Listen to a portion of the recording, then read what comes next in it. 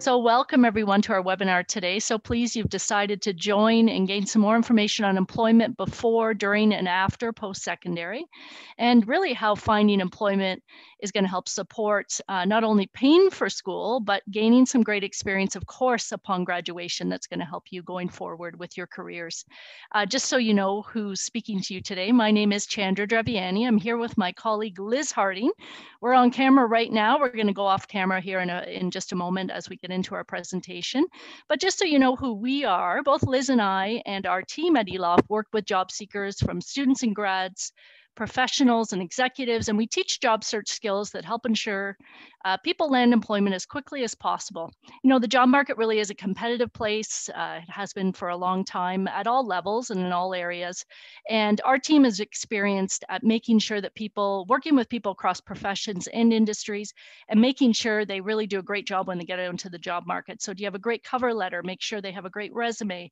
Uh, interview skills are they interview ready? Uh, job search strategies for the Canadian North American market.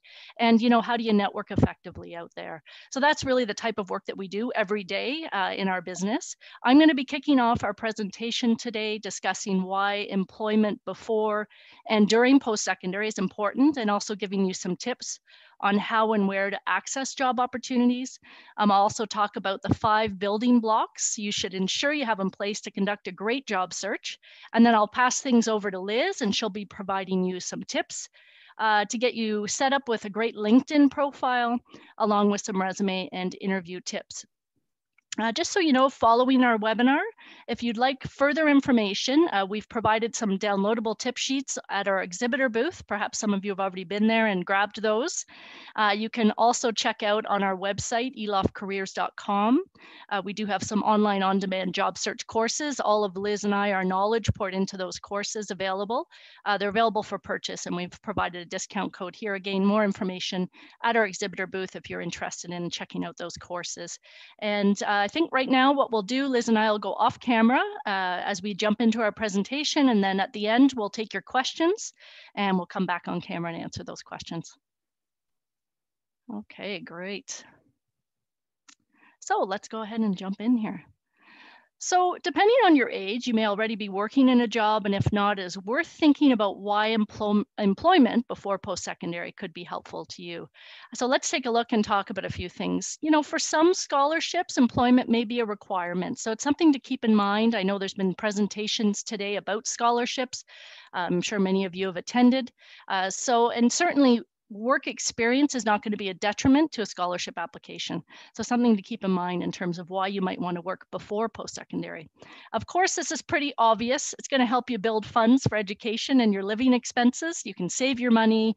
You'll be more comfortable when you go away to school and feel more confident and not have that financial stress it'll help you gain valuable work experience, which is really going to help make you more attractive to co-op employers. So co-op co-op programs are great programs. Uh, the schools often will help you in finding work. Uh, you may you may apply into a co-op or move into a co-op once you're at post-secondary, and it, it really does. This work experience is going to help make you more attractive to those employers. And of course, it helps give you real skills development. And I use my daughter, uh, Madeline, most recently worked at a grocery store as a cashier. And, you know, uh, some of the skills she developed as an example that are really helpful and going to help as she moves forward, of course, customer service skills. So, a great example of gaining some real experience before going to post secondary. She's in grade 11 um, and taking that forward with her as she uh, as she goes into post secondary. So, during post secondary, of course, working is going to help you to continue continue to save your money and pay for your education and living expenses, reducing that financial stress. You know, optimally, you want to look at about 15 hours a week. We find that this is a great amount of time and what we would recommend to help you in building your resume.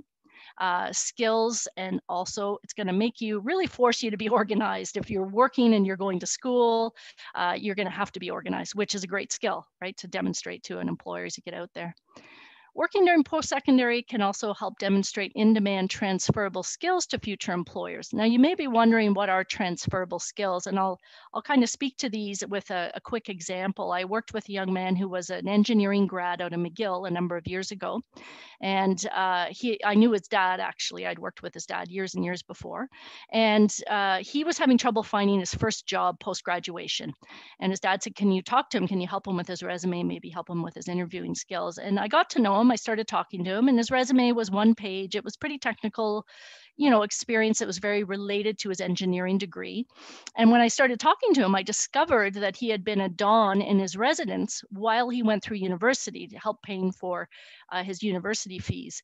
And uh, as I, I, said to him, what did you do in your job? He said, well, I had to, you know, help students that had disputes get through that. And I had a team of people and we would organize events and uh, we did some, some planning. Uh, I would tour students and, and uh, parents around, et cetera.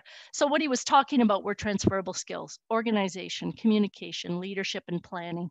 So these are great skills. They're called transferable skills and employers love to see them. So work experience is gonna give you those skills.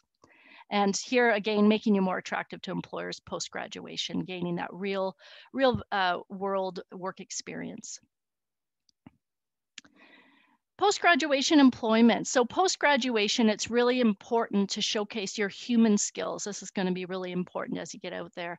So the research that we see on the future of work uh, really speaks to the fact that we're entering a skills revolution. What does that mean? Well, it's not just a jobs economy. You have a job and you have certain skills for that job, but gaining skills and continually gaining skills is what employers are looking for. So by getting that, that work experience, you're going to be gaining those real skills, those transferable skills, those human skills. So it's important to keep in mind that academics is only part of the picture. Employers prefer to hire graduates with strong work experience. And certainly we've seen this with the people that we work with within our business. Uh, there's evidence of learning adapting uh, in a working environment. So obviously, if you're out there and you're working, you're showing that you're adaptable uh, to change, et cetera, which employers really value and working before and during school really does help get you job market ready. So you may be wondering, how do you go about finding work? Uh, certainly, if you've never looked for a job before, it can be pretty daunting to know where to begin. so I want to give you a few tips on the best ways that we've seen for finding work out there. And, and really, you know, uh, these some of these would apply before post-secondary and also during post-secondary. Uh, getting a referral from a friend already working somewhere that you're interested in is the probably the best way to find uh, a job opportunity. So where do your friends work, people you know? could you ask them, you know, are there any opportunities here? Would you be able to submit my resume or my application? Looking at job opportunities and postings online, maybe you know of some uh, organizations or some employers in your local area and you could go to their website and see if they have things posted.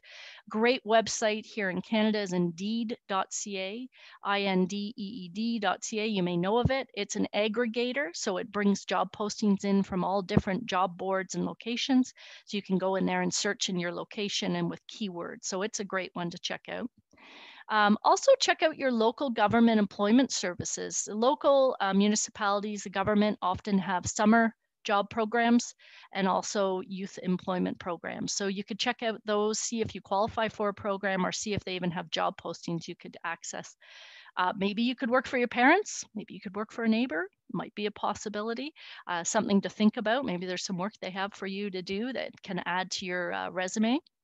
And then also a great idea here to find an employer in your hometown who can continue to employ you during the school year. So thinking about, well, what employer is nearby to me here before I go away to school? And maybe, you know, let's say, I don't know, we've got some examples up here on screen just as examples, but these employers may be in the town that you go to or the city you go to to go to school. So they'd be more open to hiring you because you already have work experience with them. When you get to post-secondary, so I've added a link here and you can find this link in our exhibitor booth because some of you, obviously I realize might be international students. Uh, this link will provide you information on uh, work study options in Canada. It's not an area of expertise for us here at eLoft, but we wanted to provide that link so you could get a bit more information. So you copy down that link, it'll be up for a moment here or two, or visit our exhibitor booth and you can grab that link as well.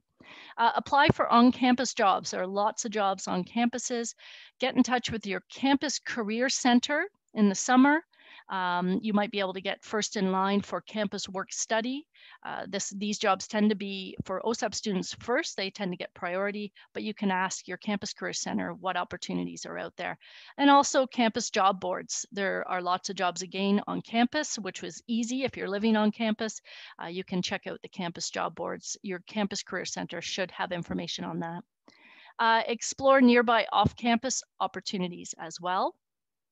Uh, become a Don. I think I use my example there, develop some great leadership skills.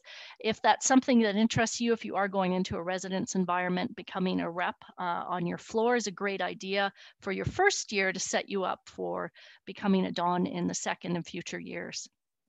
And then LinkedIn, and we're going to talk about LinkedIn in a little bit more detail. Uh, Liz is a little bit, uh, in a little bit in our presentation, and give you some more information. But it really is a strategic weapon for all students.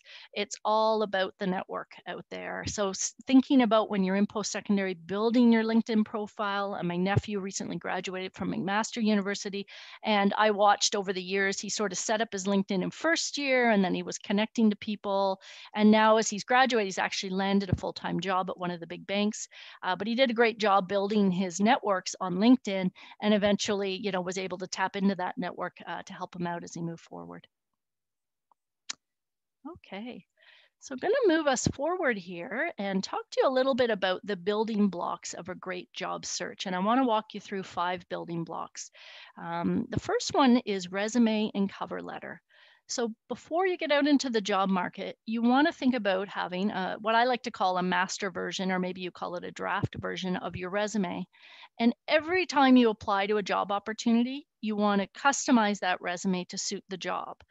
Um, and what I mean by that is looking at the job you're applying to, if you've got, say, a job posting or a job ad, and finding, you know, what are the things in that job that you have to offer an employer, and are you showcasing that in your resume properly? Sending a generic resume is not going to get you very far in the job market. You know, just same resume for every job you apply to. It's not going to work very well having a cover letter, you know, you may or may not need a cover letter depending on what stage uh, you're at, but it's always, it's never going to be a detriment to include, you know, some sort of cover letter. You could draft up a cover letter and then again, just put a little bit, uh, customize that and provide some information um, in, uh, in terms of uh, showing what you have to offer a potential employer. My caution here to you is that sending a poorly prepared cover letter and or resume may limit your chances of landing an interview. So let's say you've got a resume and you don't even realize it's got spelling mistakes in it or the cover letter, your standard cover letter uses got spelling mistakes in it. Spelling mistakes is a classic example. An employer is going to look at it and they may very well just forget about interviewing you because if you're sloppy on a cover letter or resume, it's not really sending a great message to potential employer.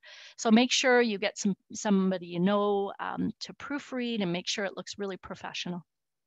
And Liz is going to be providing some tips to you as well on developing a resume and showing an example. Our building block number two here interview preparation. Um, so preparing, uh, you want to think about preparing responses to typical interview questions. What are typical interview questions? Well, typical interview question, tell me about yourself. This is a great one. Um, it's often asked at the opening of an interview. And, you know, you could go on about, I don't know, your personal life or your uh, whatever, your, your pets or whatever.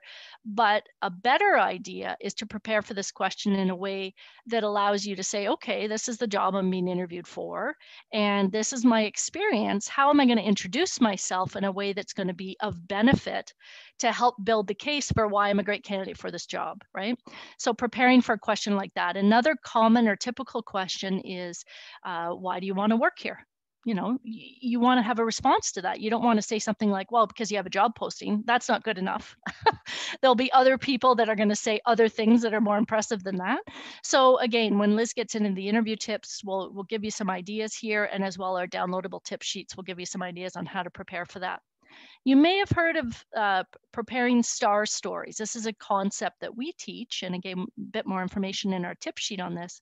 Star stories help you prepare for questions like, tell me about a time you dealt with a difficult customer you know, which could be a common one if you're going to go into a job that um, uh, deals with customers. And you want to be able to share an example called a star story in order to show the employer that you've got some great experience in this area. The caution here, you know, once you start your job search, you may be contacted quickly to attend an interview. That would be my hope for all of you. And preparing at the last minute is going to lead to poor performance and possibly the door closed at that employer, right? You've had your chance, you've had your interview, and now you're, you know, the door is closed because you didn't do your prep. Our third of five building block uh, uh, blocks I want to talk to you about is interview practice. So you've gone ahead and you've prepped for the interview, but now actually practicing out loud is really important. So can you do a practice or what we call a mock interview to help polish your communication skills? Um, this is a great idea. Uh, a lot of people we know might do this with a parent or a friend, or maybe you know somebody that works in human resources who are commonly the people that interview job candidates. Uh, just find somebody somebody you can practice with. Uh, the other option I might recommend is that you practice on video and look at um, your responses um, and see how you did. You know, critique yourself in terms of how you did. Caution here is really lack of practice. It might cause you and your interview responses to be too long maybe too short or unfocused, causing the interviewer to pass you over for someone else. It's really easy to say, okay, I've prepped, I've thought about how I'm going to respond. But when you actually get into the situation, you might be nervous. And if you've practiced out loud, it really does help. Our fourth building block here is preparing your references. So contact your references early in your job search and ask permission to use their name. Now, who do you use as a reference? Um, ideally, you want to use somebody in a position of authority. Um, so what do I mean by that? Of course, a past manager that you left on good terms and they would be willing to be a reference would be a great one. But if you don't have that, if say you're out looking for your first job, uh, do you have a teacher you could use as a reference or a professor if you're in post-secondary? Do you have a, um, a coach maybe that you were on a team with? Somebody in a position of authority. You don't want to ask your mom or dad. You don't want to ask an aunt or uncle, ideally, if you can help it, or a friend. Personal references aren't the best. You want to think about, well, who, and, and volunteer work too. If you've done some volunteer work, that also could be somebody you could use as a reference, the person that sort of uh, was your manager there. Caution here, you may be asked for references early in the job search, so be sure to contact your references early on uh, so you're ready when asked with the references. Again, it's a great impression to an employer. You're organized. Here are my references. My last building block here before I pass things uh, over to Liz is social media review and preparation. And I can't emphasize how important this is. so you want to make sure that you review and make private your personal social media accounts once you get out into the job market. So any social media you use for personal purposes, make it private to the people you're connected to. Okay. Um, conduct an internet search to uncover your digital footprint out there in the marketplace. Um, what do I mean by digital footprint? Well, if you go into, let's say you go into Google search engine, you can go into a mode called incognito, do an incognito search, which discounts your past browsing history. Put your name into the Google um, uh, search engine and see what comes up. That's what an employer is going to find is that going to support your professional brand? Is that supporting who you want to be out there in the job market? Um, and ensure as well that you set up a professional LinkedIn profile. Again, as you get into post-secondary, looking at having a LinkedIn is going to be really helpful to you. The caution here, employers do begin and end their job search online. Negative information or photos online might prevent an employer from contacting you for an interview. And Liz and I certainly have seen this uh, come come to life for some people that are out there in the job market and they've got some stuff online that they really shouldn't when they're out in the job market. So those uh, that that ends my presentation. Liz, I'm going to pass things over to you. Okay, thanks, Chandra. I'm just going to bear with me, everyone. I'm just going to switch the screen view here. Mm -hmm.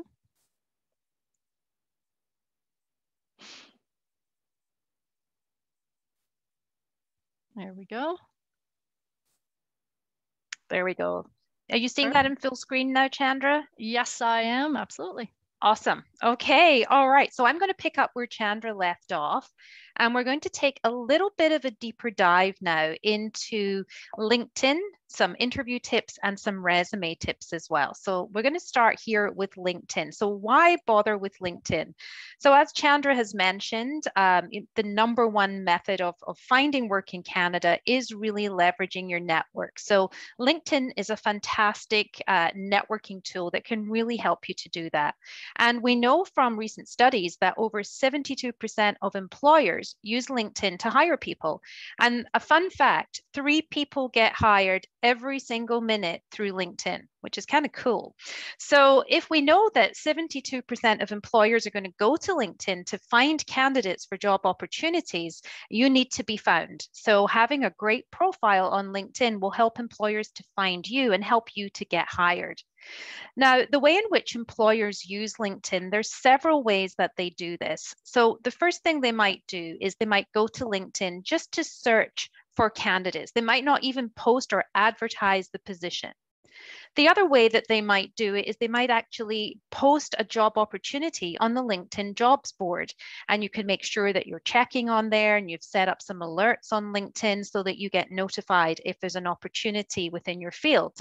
And the third thing that they will often do is use their personal networks to post information about opportunities. So if we go over to the left-hand side of the page here, you'll see that this person, Mandy, is in recruitment at Walmart and Mandy has posted to her LinkedIn network all the people that she's connected to on LinkedIn that Walmart is hiring 10,000 associates right across Canada.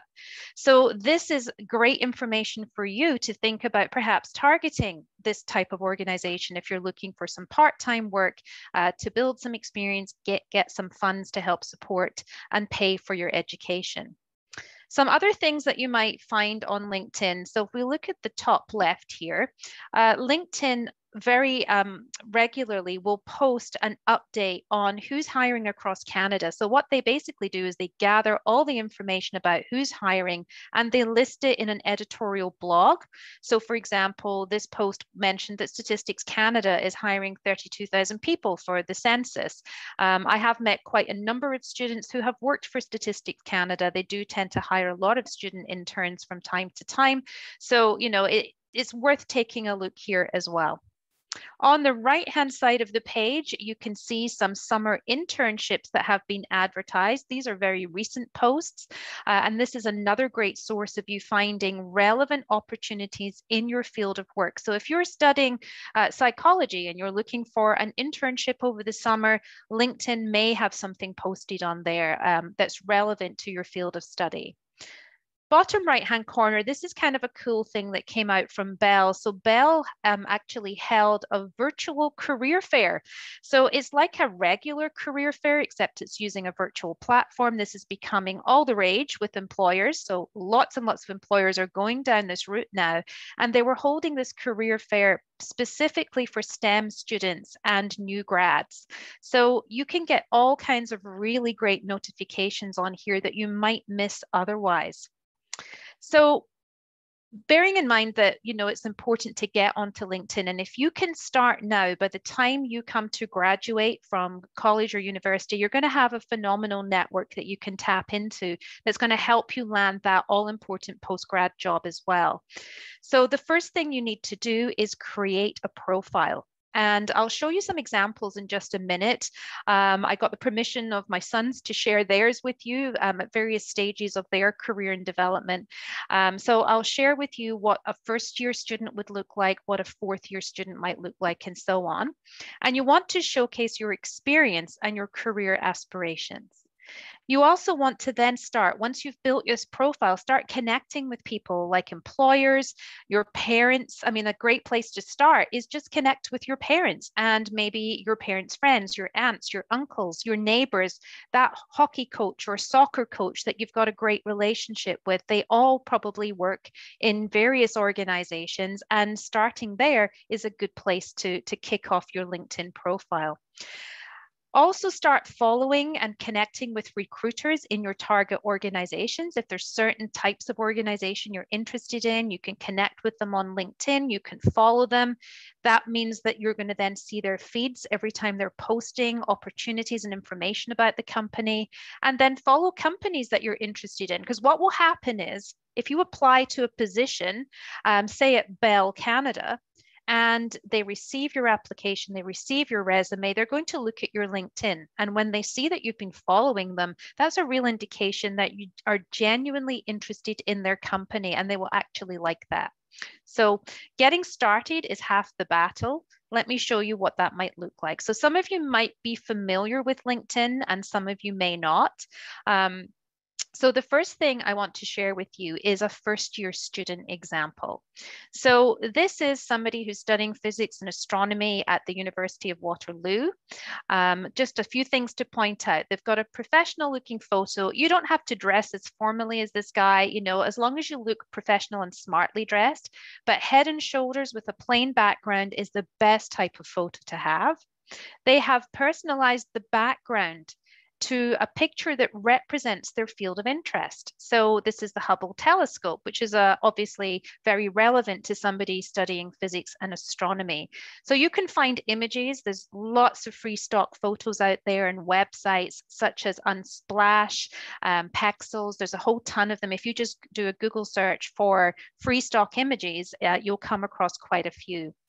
So it could be something like this. It could be um, a simple, you know, clean looking desk with a laptop, anything that represents the professional you. If you're based in Toronto, for example, and you're not exactly sure which direction you want to go in, maybe a nice Toronto skyline would be a good option um, to showcase the area where you're currently studying or something like that. But it just adds a little bit of interest and makes people pay attention to your profile. So beside this person's name, you'll see they're my first level connection. This is one of my sons. Um, so we're obviously, we know each other. That's what first level connection means on LinkedIn. We're connected to each other here if this had said second level connection, and I want you to use your imagination a little bit, imagine this guy looks like he's about, you know, 55 instead of the age that he currently is. And it says second level connection. It's got second on here. That would mean that I know this person only because we both have somebody else in common. We both have a mutual connection. So I don't know them personally, perhaps, but I know them by virtue of us both knowing somebody else. LinkedIn will tell you who that mutual connection is. So let's imagine that the person that you're viewing is perhaps the father of one of your friends from school.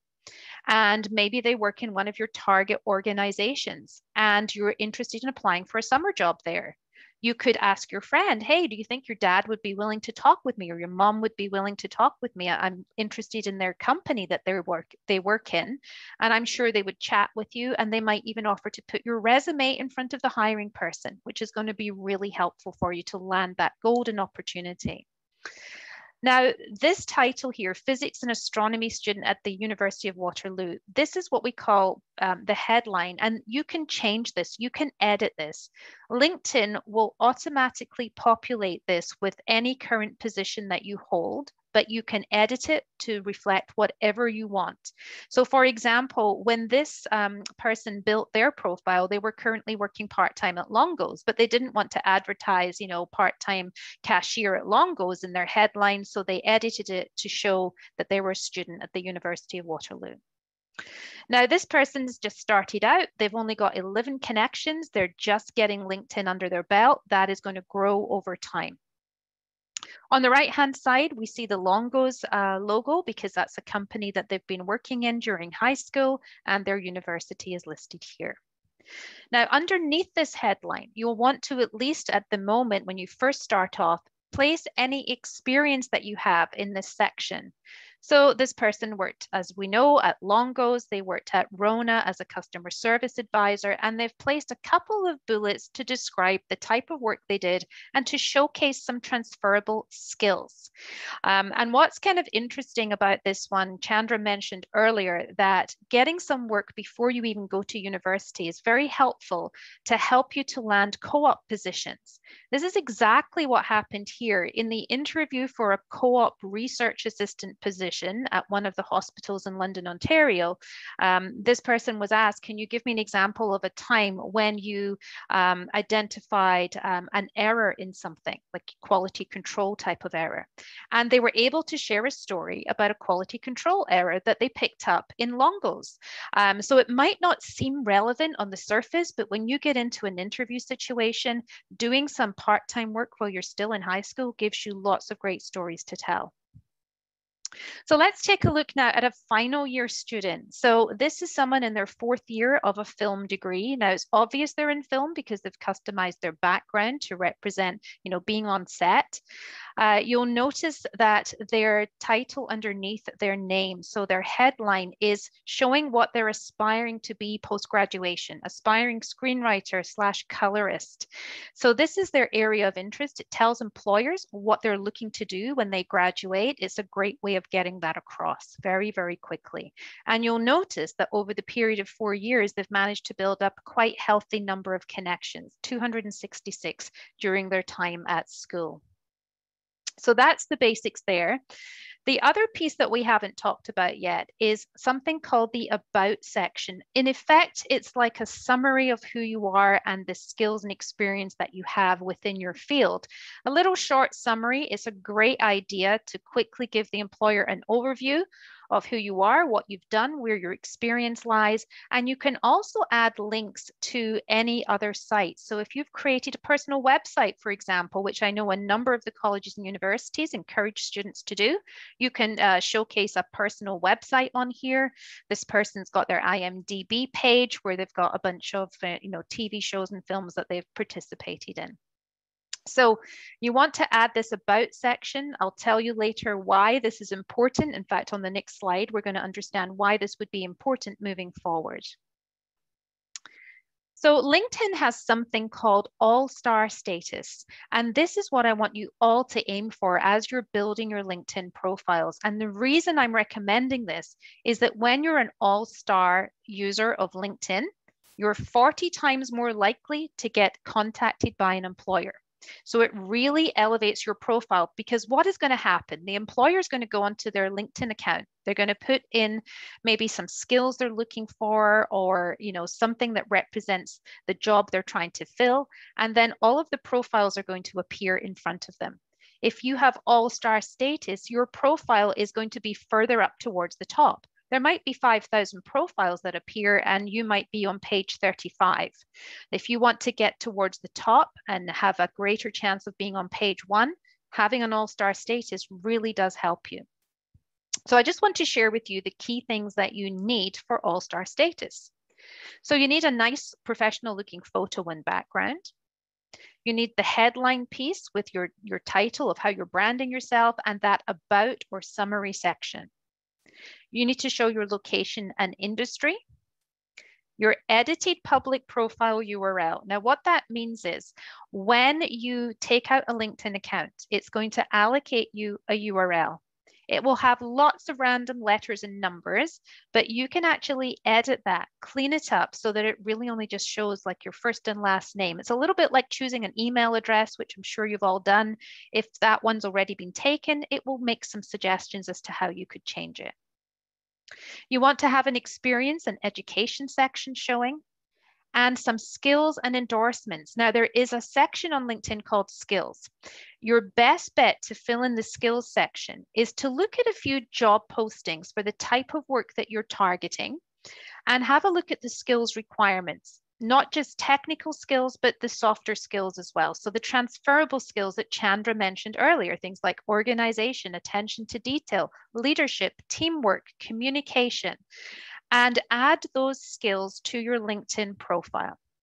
LinkedIn allows you to have up to 50 different skills on there. So really make sure that you add the skills that you genuinely, you know, have in in in yourself. Um, obviously, you want to be authentic on here, so you want to put as many skills as possible that you match. So if the job postings that you're looking at require you uh, to have some basic knowledge of Python, and you've got that basic knowledge, that would be a great thing to add into the skills section.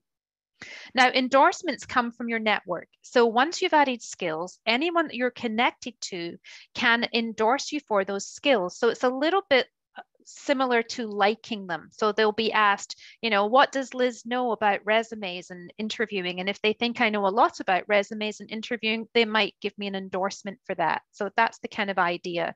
Um, and the more endorsements you have, the more it's going to raise your credibility. The next piece that I would recommend is recommendations. Now, these are different from endorsements because these are written recommendations. It's whereby your connections write a paragraph about you, about what you're like to work with, some great work that you did for them. So, what I'd recommend you think about as you go through your career from this point onwards, anytime you do work somewhere, whether it's paid work, whether it's volunteer work, connect with the people that you worked with on LinkedIn and the ones that you feel really comfortable with, that you feel you had a great relationship with, ask if they would be willing to write a small recommendation for you on the work that you did together. If you do it in the moment when they remember what you've done and they are feeling good about their experience with you, that's the best time to get these written recommendations. Written recommendations carry a lot of weight with employers because it's other people saying nice things about you as opposed to yourself saying things about yourself. So those are some tips. Um, as Chandra mentioned, there is a full tip sheet available for download, and it has the instructions for things like editing your public profile URL. We have some sample headlines and things in there as well to get you started. Let's talk resumes now. So resumes really are your number one marketing tool. We can't get too far these days without a resume, whether it's for volunteering or for paid work. So there's some key sections that you want to think about including in your resume. I'm going to briefly go through them here, and then I'm going to walk you through an overview of what a great resume could look like. So the first thing that you want to have on your resume is an opening profile summary. It's a short paragraph that really describes who you are, your transferable skills. It can even have a, a small objective statement such as currently seeking um, a summer position, um, you know, depending on what stage you're at in your career.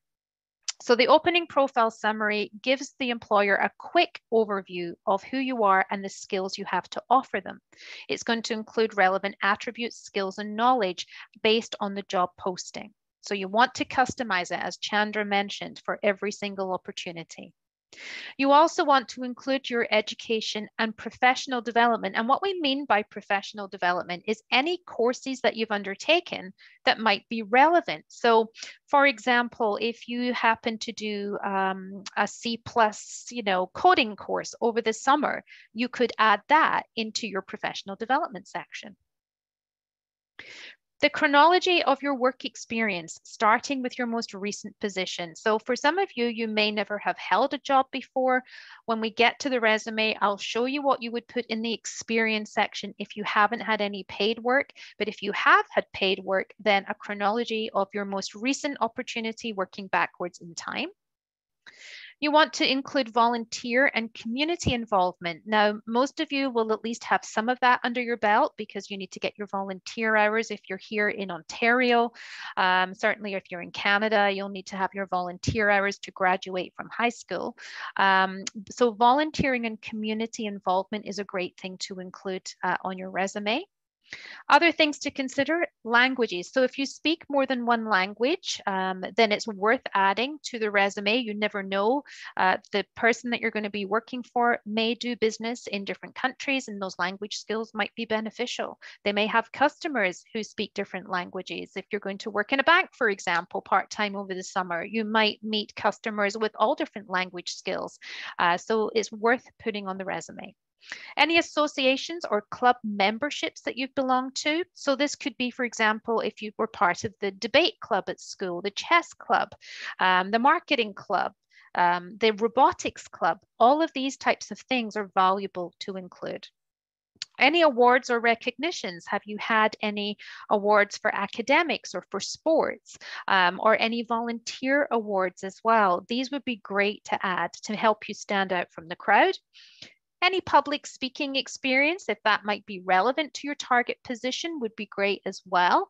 Um, I guess debate club could be one of them, um, or maybe you've done some public speaking um, as part of a volunteer position, anything like that. And then interests, anything that says something positive about the professional you. So even interest can show skills. If you've been on sports teams, that tells me a little bit about your team skills, your collaboration, and so on. One thing I'm going to caution you with on resumes is something called applicant tracking systems. Now, applicant tracking systems or ATS systems are used by the vast majority of employers in Canada. So what these systems basically do is they take your resume. This is when you're applying to online positions. They're going to take your resume, they're going to put it through their applicant tracking system, and that system has been programmed with keywords from the job posting. So all of the skills, knowledge, and experience requirements in the posting, the ATS system is going to look for those things in your resume. If you do not have those keywords in your resume, you'll get a lower score and it may never be read by the HR person. So your goal initially is to get past the applicant tracking system. Of course, you still have to be authentic and you can't start putting skills in that you don't have, but you do want to try and match their wording as close as possible. So for example, if the job posting says, um, you know, good understanding and knowledge of MS Office, and your resume says Microsoft Office, I want you to change it to MS Office. Match it exactly. And the other thing you need to be aware of is the format of your resume has a big impact on these ATS systems. So many of you may have seen these fancy infographic style resumes, the more modern looking ones that you find templates for online. And they've got like a box where you can put your photo, and then they've got grids and boxes all over the place in a non standard format. They do look very nice. They look clean, they look professional, but the vast majority of the time, they are not going to work with applicant tracking systems. So often we hear from students and grads who tell us, I'm applying for all these jobs and I'm not getting anywhere. And we can look at their resume and see that they're qualified, but they're using an infographic style of resume and they're not getting past these ATS systems. So please use a standard style of resume like the one I'm about to show you to get past those ATS systems and make sure there's no hidden tables or grids in your documents, folks. Here's an example of a high school student's resume. I can't go through all the detail because we're going to run out of time today, but I'll give you the high level of what should go where.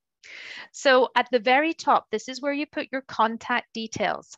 Applicant tracking systems will sometimes require a postal code. So make sure you put your postal code, your city, your province, one phone number, make sure you've got a voicemail so that they can leave messages for you if possible your email address, and if you have a LinkedIn, put your LinkedIn URL on here as well. This is the summary section, the profile section. This is where you're going to describe yourself. And this person obviously is in the French immersion, so they're a bilingual student.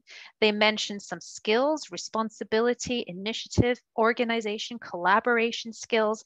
And if these are required in the job posting, they're getting a nice match for the ATS system here. They've got both paid work experience and volunteer experience in a number of different areas like food service within daycares and camps. And they mention their natural leadership skills. So this is great for getting all those nice transferable skills in here that employers want to see. Underneath your profile summary, this is where you're most likely going to put your education and courses. So most students and grads are going to really sell their education first before the experience because you're really at the start of your career journey. So you're going to start with your, you know, most recent um, experience. So in this case, it's ABC High School. They're still there. And then they've listed some great courses that shows a nice variety of things like leadership certificates. We've got first aid and the Bronze Cross. We've got a human anatomy um, course that they've taken. They've got babysitting course, a whole range of nice things that just shows this whole sort of approach to continuous learning and employers love to see continuous learning on resumes. Um, we know the one thing for sure we're going to face um, as we go forward is change in organizations so this is great. They love to see this Then we get into what we call the relevant experience section. So for this particular individual, they actually have held, you know, three different part-time jobs over the years during their high school years. And they're listing the name of the organization, the title they held, and then on the right hand side, the years that they've been working there. And then underneath, we've got a few bullets to show the types of activities that they're involved in, which again is demonstrating some great transferable skills like supervision, mediation, um, you know, re restocking dishes and so on, and being organized and diligent, being prepared to roll up your sleeves, all of that great stuff. And this is great because they've got some nice relevant uh, transferable skills to show an employer. But you might be wondering, well, what do I do if I haven't held any part-time jobs yet? So what I'm going to suggest that you do, if you have any volunteer experience, I would pull that volunteer experience into the relevant experience section because at the end of the day, employers don't care whether it was paid work or volunteer work. They want to see the skills. So you could list your volunteer experience use the bullets to describe what you did during those volunteer opportunities. You could even list projects that you did at school and list out some of the things that you were involved in. So if there was a massive project you got involved in in high school, that could feature in relevant experience as long as you have some bullets to show things such as leadership and communication um, and team working and all of that great stuff. Maybe you had to do a presentation, you can showcase your presentation skills. So think creatively about what do you have in your experience that's still relevant, even if it wasn't paid work? So projects, volunteer work, um, any leadership roles, maybe you led a particular club or, or association or anything like that can go in the relevant experience section. Now, because this high school student already has three uh, paid work experiences, they've decided to separate out their volunteer experience. You can see they've got a variety of things on here. And then they've got a whole section on awards and recognition. So you could put awards and recognitions in a separate section like this student, because they have some pretty impressive stuff. They were valedictorian, they got some other student awards for French and English and producing a video and so on.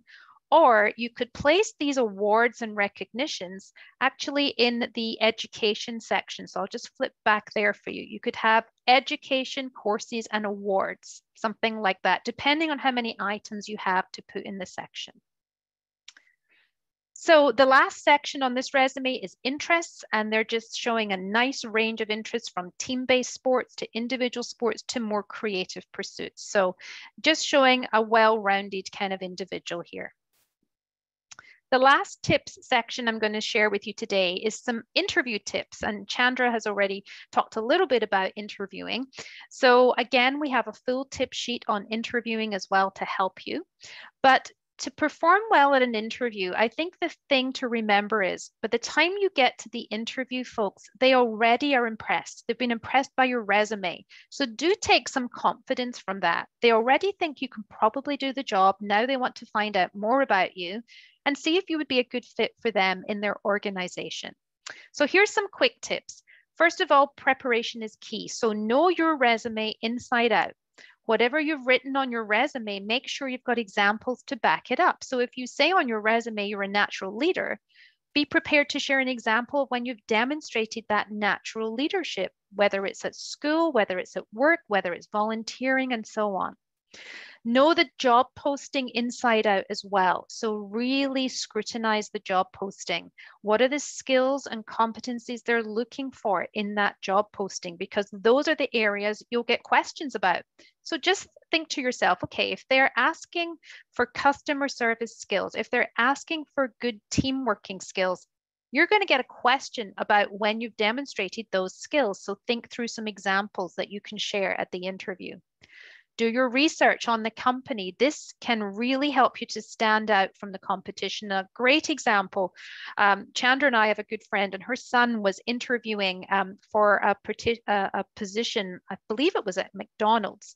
And they asked him why he wanted to work for the organization. And he'd done his research on them and he knew about their charitable work and the Ronald McDonald House and uh, all of that stuff that they do there. And he told a personal story about how he um, had grown his hair uh, to a really long length and then had it cut off so that it could be made into a wig for cancer patients. And then he linked that to the values of the organization that he was interviewing for, who were very invested in charitable pursuits. And the work that they were doing through the Ronald McDonald House really resonated with him. And they loved that. And he got the job and he did really well in the organization. Prepare your answers to typical and behavioral questions. It really is not rocket science. It really is preparation and practice. The more you practice, the more confident you will become and the better you will do.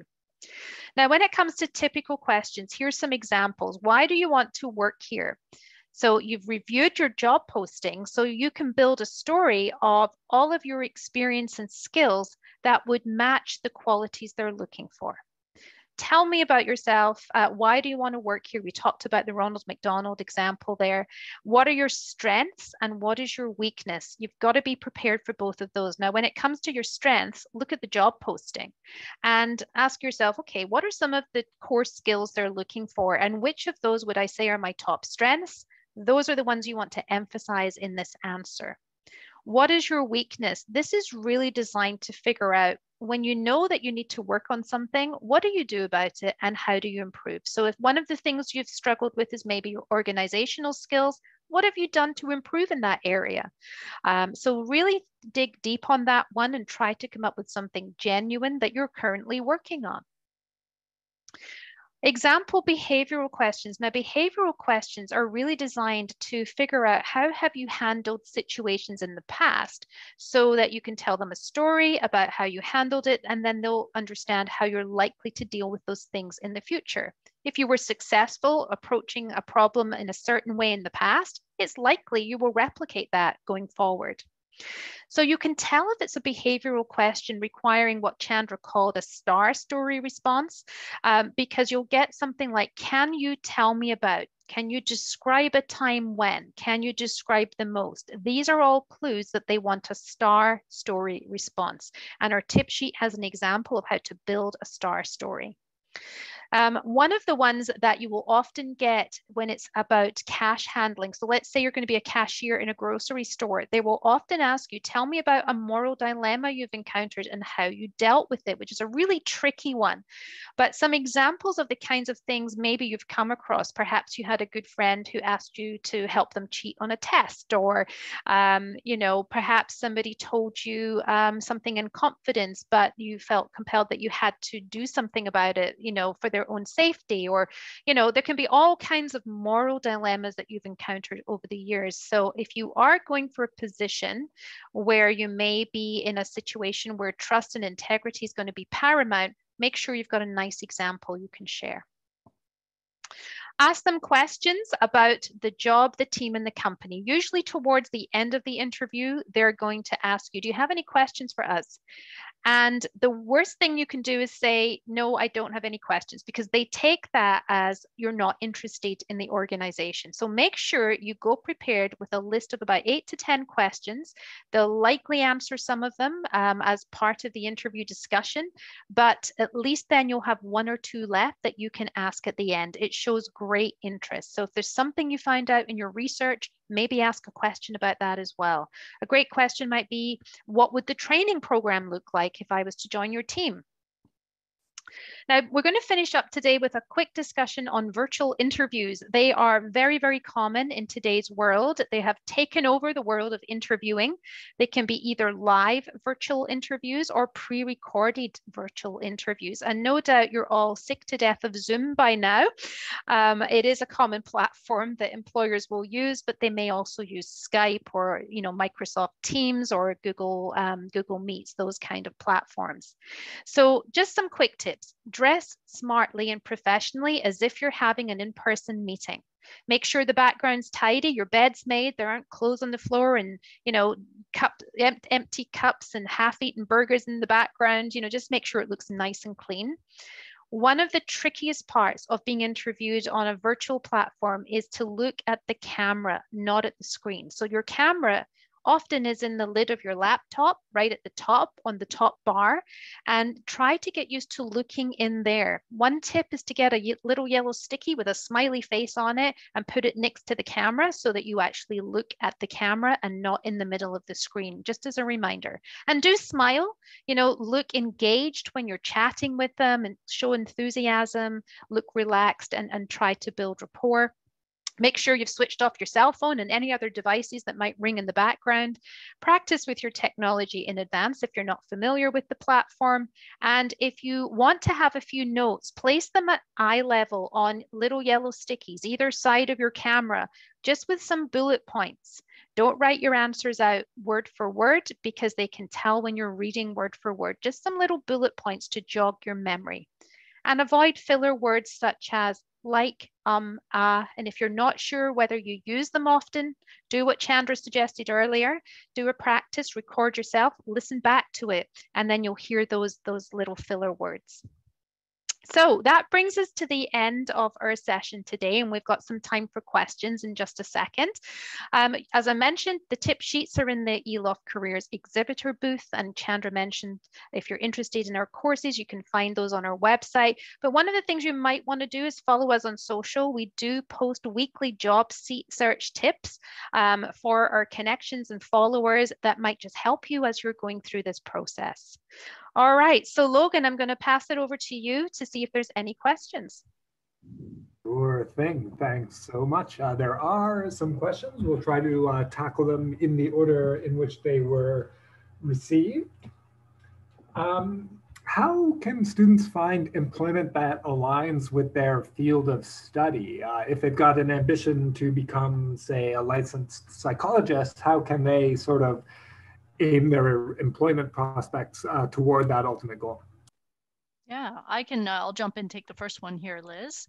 Um, that's a great question. Um, you know, if you're looking specifically, I mean, doing some research in terms of organizations that would uh, be employing licensed psychologists would be a great idea. And I often, Liz and I will send people to the library to do research um, or call the library, talk to the business librarian and say, you know, how do I find these organizations in my area? Um, also, perhaps uh, the professors at your school, ask them whether they're aware of employers that you should um, uh, look at. Uh, remember though that no matter where you work, if you can get into a professional environment, if you can gain, you know, as a licensed psychologist, I would imagine imagine you're going to need great communication skills um, and some other transferable skills. So if you think about the profession in that way, what are the skills I need to develop to be in this field of work? And then could you find a job that'll help you develop those skills? So that would be a way to look at it as well. And Liz, anything to add? Yeah, just to build on that, I think those are all fantastic tips, Chandra. Is just to, you know, what we were talking about earlier leverage linkedin. Is there anybody in your network that you know who works in this field that could maybe be open to an informational interview where you sit down with them you ask them a bunch of questions about you know what it's like to work in that field and what tips can they give you for somebody starting out looking for opportunities to gain experience? It really is about networking. If you can start networking from day one um, of your college and university career, that's going to really um, stand you in good stead for the times when you're looking for those opportunities. So again, leverage your networks, um, find out who the sort of you know eminent players are in your field, and see if you can follow them and connect with them.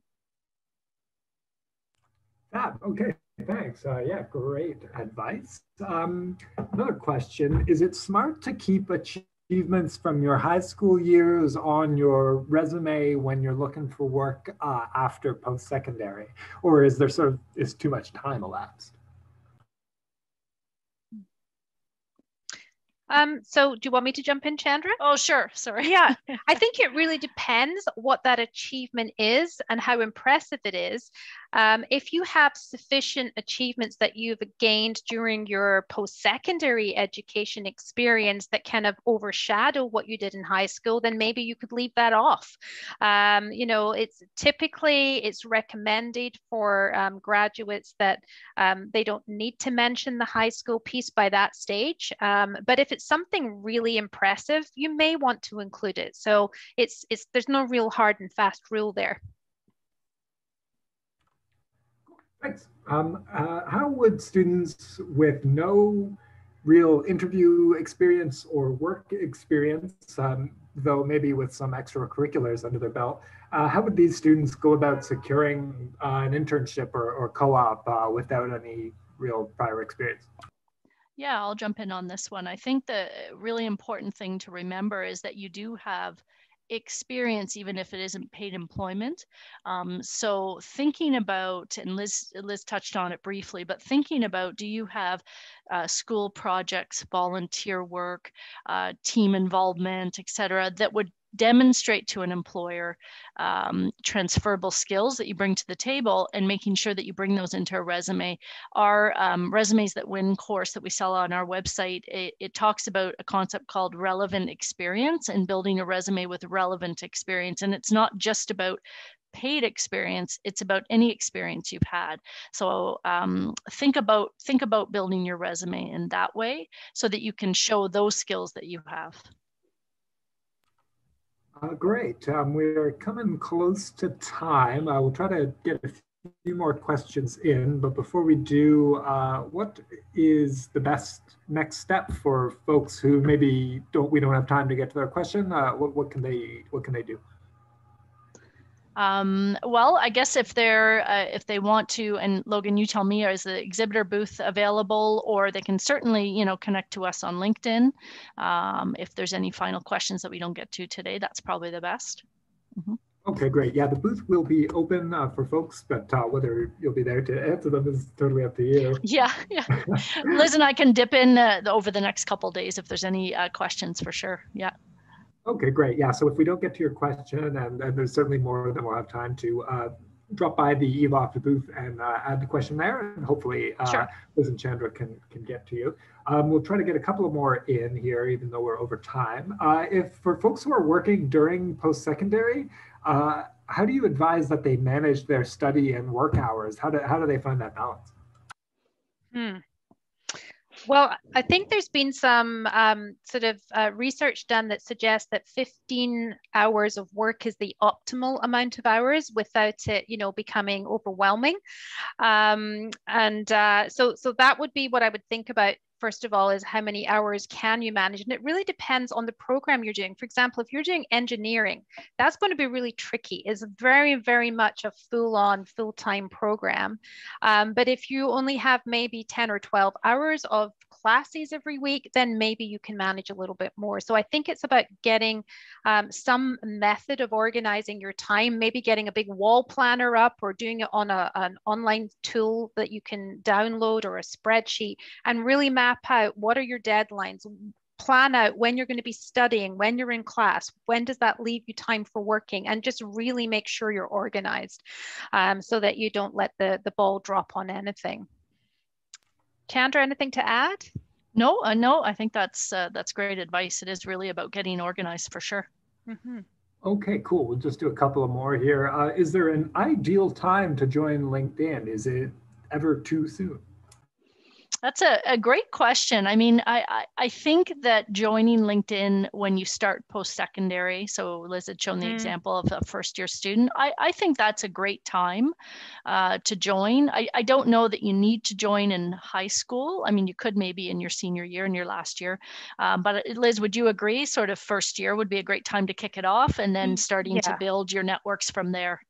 Yeah, I would say so. I, I wouldn't wait until you're ready to graduate. I think mm-hmm. if you can start in your first year, um, so like my my youngest son is just finishing up his first co-op placement. He's he's in his second year now, and he's got over um, 150 connections now. And he started off with 11, as you saw, um, and some of those connections now are in industry um, because he's got this co-op placement. And you're you'll be connecting with fellow students, and those fellow students are going to be landing jobs jobs in the future.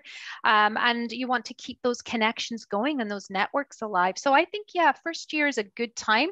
You know, dip your toe in, start to get used to the platform. It is a platform that should be kept up to date on a regular basis. So every time you change a job, you take a new course, you develop a new skill, just pop into LinkedIn and do a little update. Um, and, you know, if you follow people like us on there, you're going to get your job search tips on a weekly basis so that you'll be ready for the job market. Beauty. Okay, thanks so much. I think we're out of time. I know uh, Suzanne is here to sort of give us a sign off. Uh, do you folks have any sort of parting words before we let you go? Uh, well, uh, wishing everybody the best getting out there. If, if you're in the job market, and please do take advantage of our, um, you know, our resources on at the exhibitor booth and and check those out. And yeah, thank you for uh, for being here today and your attention during the session. It's been great. Thank you. Yeah, best of luck, everyone, with your mm -hmm. education journey and also with your job search as you progress.